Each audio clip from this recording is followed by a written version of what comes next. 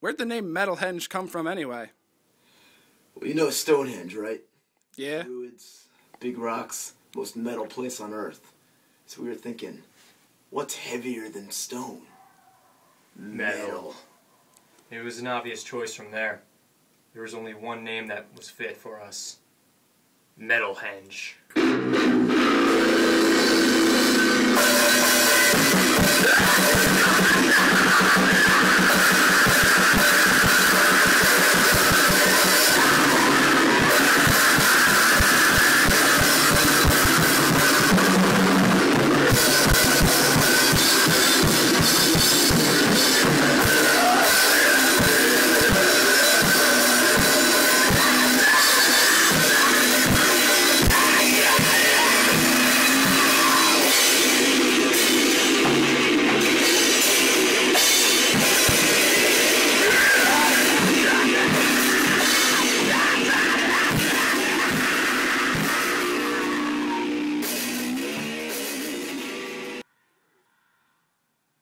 We got Bucky Kentucky here, drummer from Metalhenge.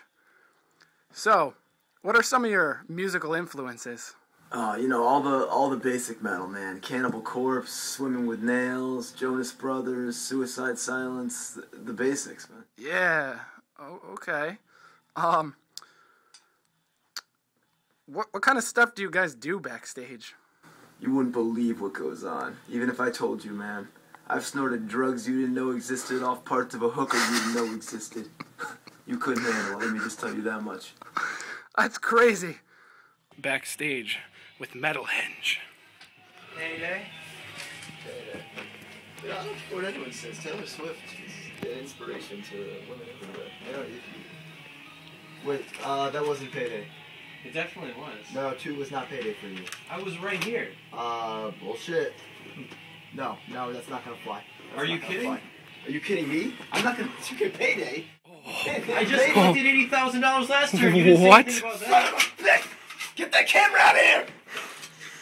What kind of drummers are you influenced by? Animal. Animal. Animal.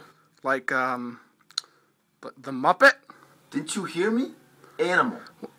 Do you know or there's not like a real drummer that What the fuck are you saying about animal?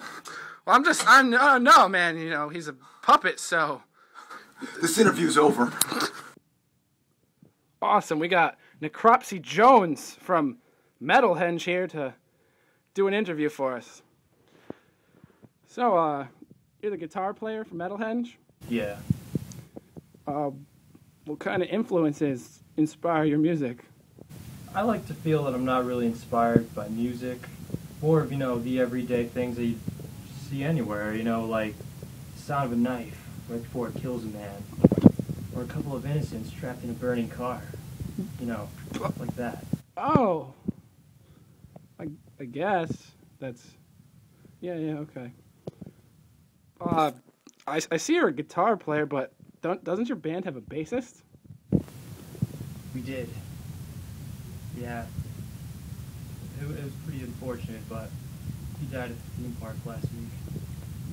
The theme park. What did you fall off a roller coaster or something? No, no. Jumped on a piece of cotton candy.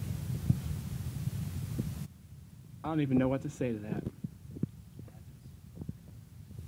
Was he? I don't know. What he look like? Just, uh, you know, as a keeper, kept his skull. It's right over there. You kept his skull. And this is his face. Would you peel his face off? Same knife that I was inspired by. You should have heard the song we wrote after this one. Here's a single off Metalhenge's new album. I peeled off my bassist's skin with his face, and that wasn't properly worded right. Just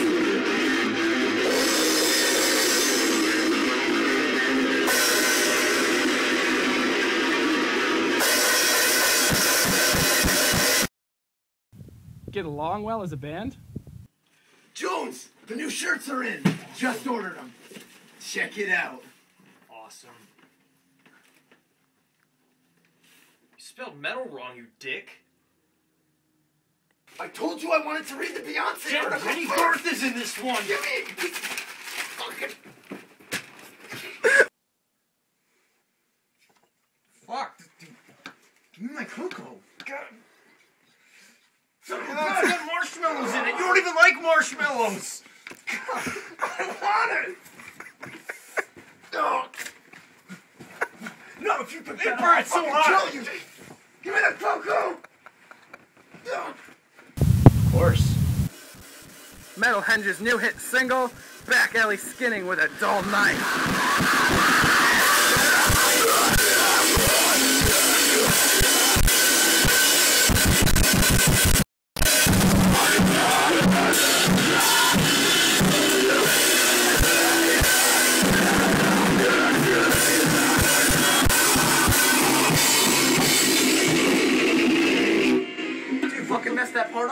Part? Oh, the third measure right there. That's fret four, not five, asshole. God damn, it, Bucky, it's the wrong fucking song you're thinking of. Why do we make you up to these? Son of a bitch, I'm gonna stab you with my own fucking drumsticks! Come here!